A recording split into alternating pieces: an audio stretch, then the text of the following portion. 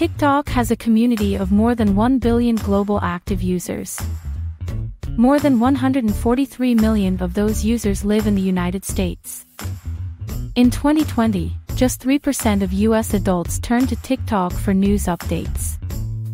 In 2023, 14% of US adults use TikTok for news updates.